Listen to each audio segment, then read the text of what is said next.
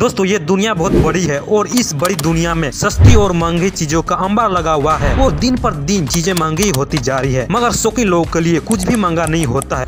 बहुत पैसा है अपने पास। तो आज हम आपको दुनिया के छह सबसे महँगे फुटवेयर के बारे में बताने जा रहे हैं जिनकी कीमत सुनकर आप सभी का होश उड़ जाएगा। तो नंबर वन पर है moon star shoes moon star shoes को एंटोनियो बेट्रिस ने बनाया है। इस शूज़ का कीमत सुनकर आप लोग का होश उड़ जाएगा क्योंकि इस शूज़ का कीमत 20 मिलियन डॉलर है यानी कि एक करोड़ रुपया लगभग। अब आप लोग सोच रहे हैं कि इस जूता में क्या है जो इसकी कीमत इतना है। बोलो बोलो टेल टेल तो इस शूज़ को बनाने में सोना, तीस कैरेट के हीरा और एक हज़ार पाँच सौ छिहत्तर अर्जेंटीना के ओल्का पेंट के टुकड़े को मिलाकर मून स्टार शूज़ को बनाया है। इसलिए इसका कीमत इतना ज़्यादा है। नंबर टू पर है डायमंड शूज़। डायमंड शूज़ को फ़ैशन ज्वेलर्स और जड्डा दुबई ने बनाया है। इस शूज़ का कीमत लगभग सत्रह मिलियन डॉलर है, यानी कि एक करोड़ रुपया। इस जूता में पंद्रह कैरेट के डी ग्रेड के हीरे लगा हुआ है। नंबर थ्री पर है डेबी विंगम डायमंड हाई हिल्स। डेबी विंगम ने इस फुटवेयर का डिज़ाइन किया है। इस जूता को बनाने में लेदर, स्टील टोस का उपयोग किया गया है और उसमें 24 क्रेट गोल्ड की परत चढ़ाकर इस हाई हिल्स का डिज़ाइन किया गया है। इस हाई हिल्स का कीमत करीब 15.1 मिलियन डॉलर है, यानी कि लगभग 123 करोड़ रुपया। नंबर फोर पर है रूबी स्लीपर्स। रूबी स्लीपर्स को जिलबर्ट ने डिज़ाइन किया है और इसकी कीमत तीन मिलियन डॉलर है, यानी कि 24 करोड़ रुपया। Number five, Rita Hayworth heels. Rita Hayworth heels को स्टूड